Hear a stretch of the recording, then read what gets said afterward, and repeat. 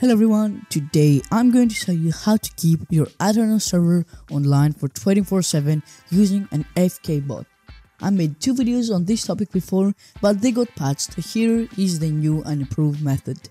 Watch closely because if you miss even one step, it might not work. Trust me, I learned that the hard way. Also, if this gets enough likes, I'll drop a more advanced, still free premium version. Enough yapping, without further ado, let's get started. We need to set up Aternos correctly. First up, go to options and enable cracked. So this is green. Now go to software and install paper. Once that's done, go to plugins and search VIA. Now here, you want to see the modrinth.com so click ViaVersion via backwards. And finally you can install ViaRewind. All of these plugins are really important since they allow the bot to join our server. Once done you want to go here and restart your server. By the way if you're enjoying this video and want to support the channel consider subscribing I'm on the road to 20k subs and every sub really helps me out. Thanks to keep our server online, we will use Replit to run an AFK bot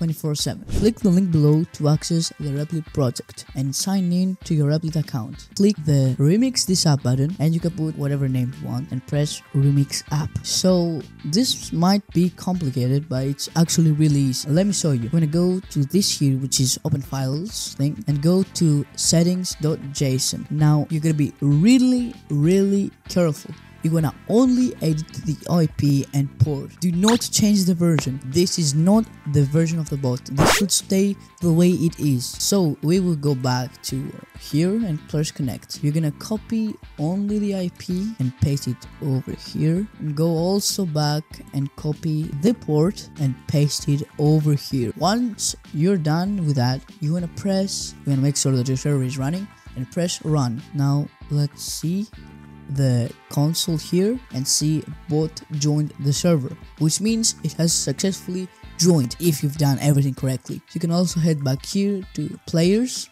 and see that AFK bot has successfully joined the server. Alright, now let's get to troubleshooting. First up, make sure that the server is actually running. If any error pops up or you need help with anything, feel free to join my Discord server. The link is in the description. You can also check the pinned comment for common problems and fixes. Thanks so much for watching. I hope this tutorial helped you out.